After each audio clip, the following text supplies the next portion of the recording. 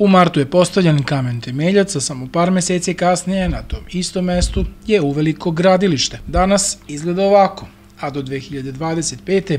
trebalo bi da bude ovako.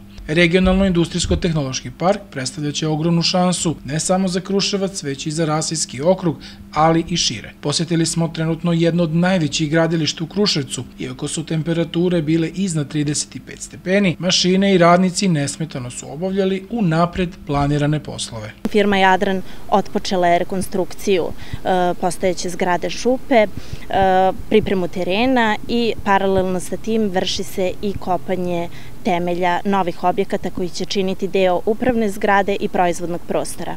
Pored toga postavljene su i čelične konstrukcije za proizvodni prostor.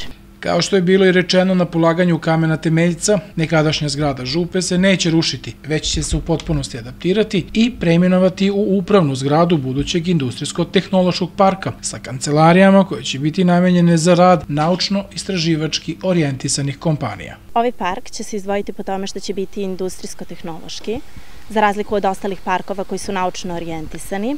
Verujemo da će park doprineti razvoju grada i regiona kroz ekonomski, tehnološki, industrijski, ali i društveni napredak.